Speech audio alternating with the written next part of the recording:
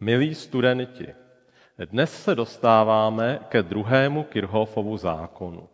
Druhý Kirchhoffův zákon je opět jedním ze základních zákonů elektrotechniky a je důsledkem konzervativnosti elektrického pole. V tuto chvíli je asi potřeba vysvětlit eh, pojem konzervativnost pole. Já bych eh, malinko teďko odbočil od pole elektrického, které je v tuto chvíli pro vás asi poměrně stále příliš nenázorné a eh, vrátil bych se k poli gravitačnímu. Předpokládám, že to znáte z fyziky, a lecos o gravitačním poli už víte. Je vám možná trošku bližší než to pole elektrické.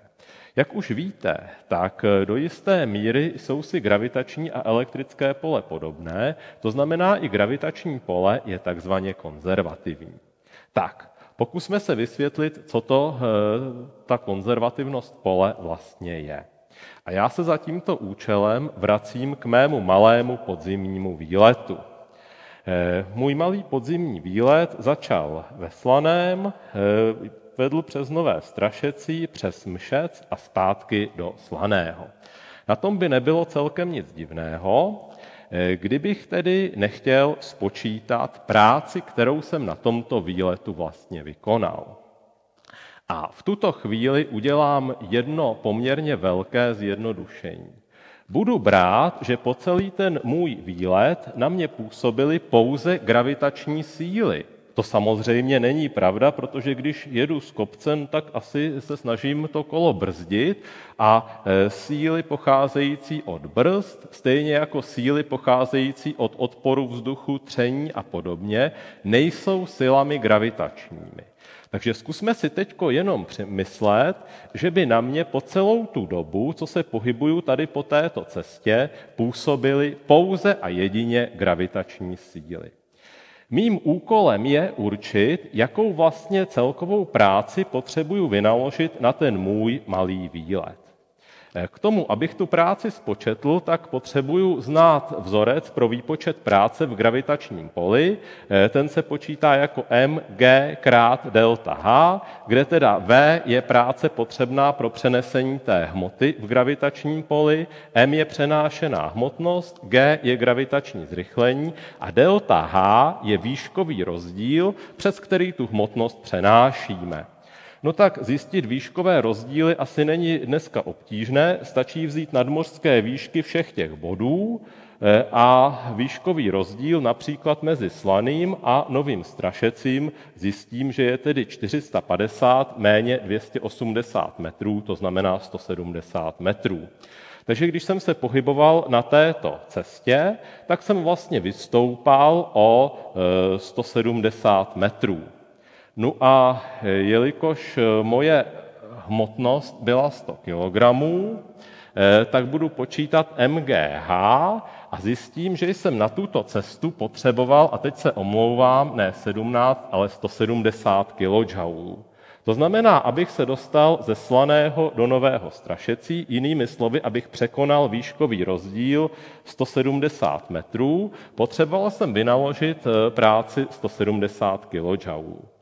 Eh, když jsem jel tady z kopce, tak vlastně práci konalo to pole.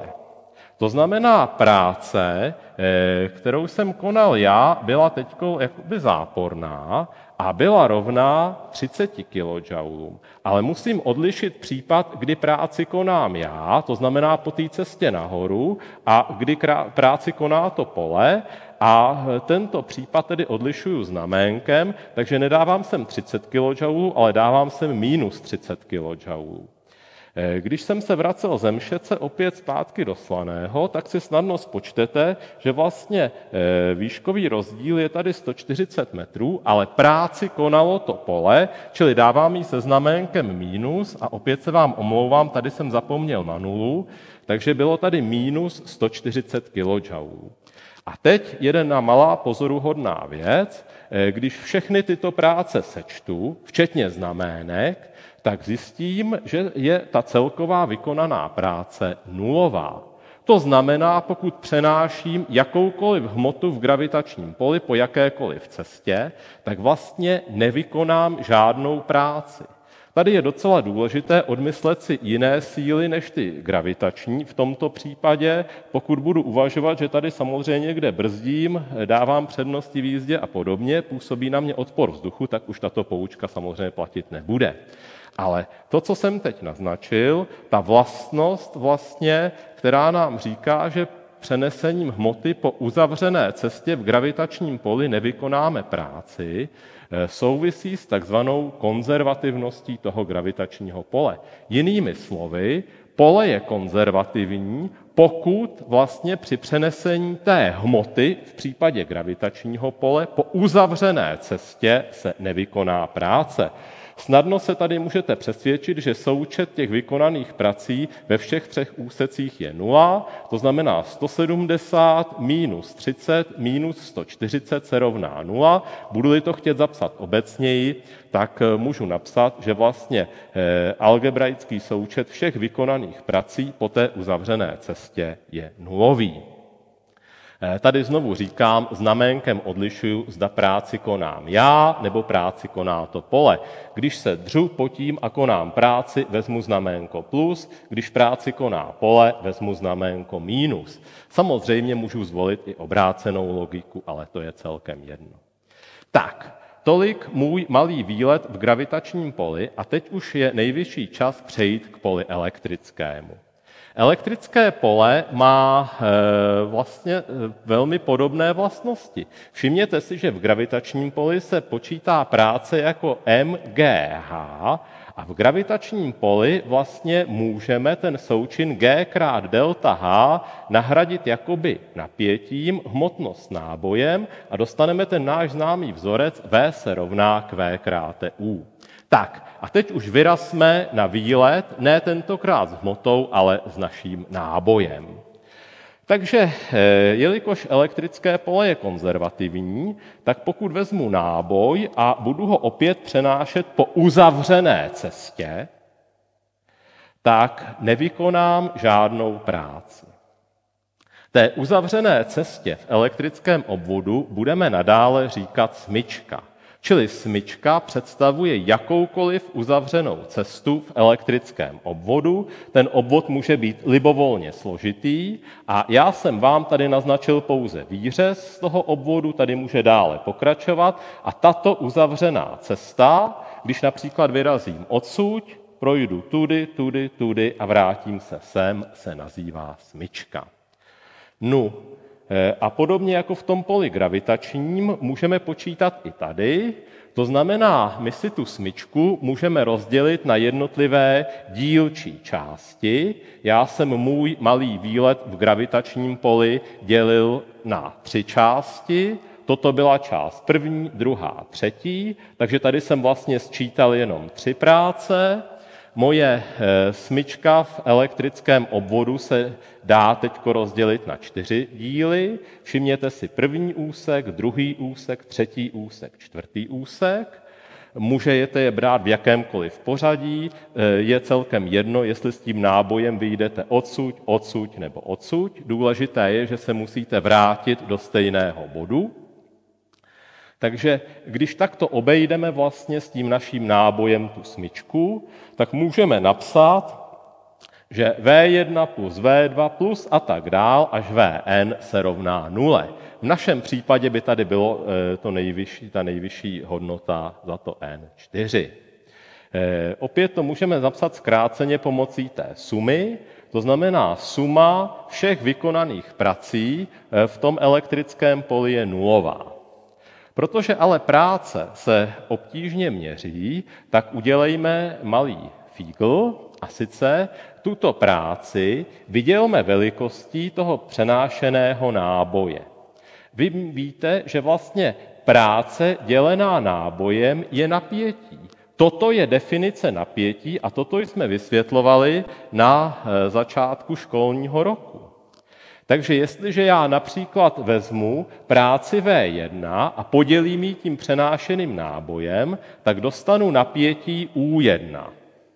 Jestliže vezmu práci V2, opět vydělím přenášeným nábojem, dostanu napětí U2. Takže tuto rovnici já vlastně mohu přepsat pomocí napětí eh, v té smyčce, nebo chcete-li zkráceně, můžu ji napsat pomocí té sumy. Eh, tady vlastně tvrdím, že algebraický součet všech napětí v uzavřené smyčce je roven nule. A opět si tu cestu můžu rozdělit na libovolný počet, na libovolný počet dílků, v mém případě na n. Takže já jsem tady měl eh, to n rovno čtyřem, ale samozřejmě tento fakt platí pro jakýkoliv počet, eh, pro jakýkoliv vlastně počet těch n. Tak a toto je znění druhého Kirchhoffova zákona. Tedy ještě jednou, druhý Kirchhoffův zákon nám říká, že algebraický součet všech napětí ve smyčce je roven nule. Já jsem vám tady opět ukázal malý příklad eh, s nějakými konkrétními hodnotami. Tady mám výřez z obvodu, mám tady naznačenou smyčku, no a zeleně si přimyslím eh, vlastně panáčka, jak nese po té uzavřené smyčce ten náboj. Eh, a teď je důležité uvědomit si, že jde o algebraický součet napětí. To znamená, my musíme vlastně znaménkem odlišit, podobně jako jsme to dělali v tom gravitačním poli, zdali práci konáme my, anebo práci koná to pole. Když bude náboj kladný a já ho budu přenášet od mínusu k plusu například, tak vlastně eh, práci konám já, když se bude přenášet od plusu k mínusu, tak tady by práci konalo to pole. No a e, v tuto chvíli e, tedy algebraicky sečtěme všechna napětí, to znamená, rozlišme, zda jdeme proti té napěťové šipce, anebo po té napěťové šipce. Já si tady například zvolím, že směr e, proti napěťové šipce bude záporný a po směru napětí, tady bych měl asi doplnit napětí, to už se mi sem nevešlo, po směru napětí budu brát eh, tu hodnotu jako kladnou. Takže pokud vyrazím tady odsud, tak první jdu proti napětí U, proto U píšu s mínusem. Pak jdu eh, přes eh, toto napětí, které má velikost 1 V, a protože jdu po směru napěťové šipky, tak píšu plus 1 V. Tady jdu po směru napěťové šipky, to znamená po směru toho napětí 3 V, tak píšu plus. A tady jdu proti směru napětí tohoto zdroje, to znamená, píšu tady mínus. Toto mínus 10 V znamená, že při tom obcházení jsem se tady pohyboval proti směru této napěťové šipky. Tady si všimněte, že mám algebraicky sečtená všechna napětí a takto algebraicky sečtená napětí musím položit rovný nule. Teprve teď, když doplním tu pravou stranu, tak mi vznikne rovnice. No a velmi snadno vypočítáte, že to napětí U je minus 7 voltů. Takže takto orientovaný napětí červeně je vlastně minus 7 voltů. Možná se zeptáte, jestli byste ke stejnému výsledku dospěli i tehdy, eh, když byste obcházeli obráceně, nebo kdybyste si vzali jiný značení, to znamená, kdybyste například po směru napěťové šipky brali mínus a proti směru plus. Tak odpověď je asi jednoduchá, určitě ano, a celé to stojí opět na tom faktu, že tady roznásobíme mínus jednou. Všimněte si, že nula zůstává nulou, ta se nám nezmění a pouze se nám tady zpřehází znamenka. Čili kde bylo mínus, tak je plus, kde bylo plus, tak je mínus. A všimněte si, že ta rovnice musí platit i pro obrácený směr, i pro obrácený tedy eh, způsob značení. Opět dostanu, že to hledané napětí je minus 7 voltů. My už ale naštěstí víme, co to znamená. My víme, že takto orientované napětí minus 7 voltů není nic jiného než takto orientované napětí 7 voltů. To znamená, pokud dám sem eh, červenou svorku voltmetru, sem černou svorku voltmetru, dostanu hodnotu 7 voltů. Pokud dám sem červenou svorku a sem černou, dostanu minus 7 voltů.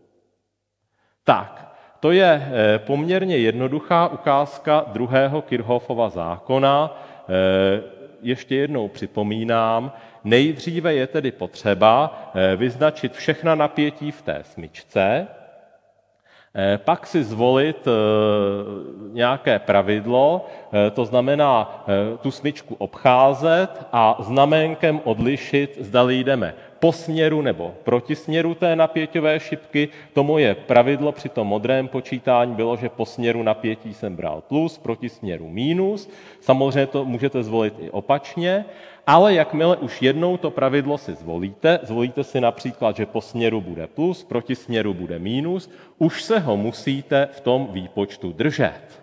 Rozhodně nelze skombinovat eh, část eh, této dohody a v druhé části smyčky to takhle otočit. To by se dostali výsledek samozřejmě chybný.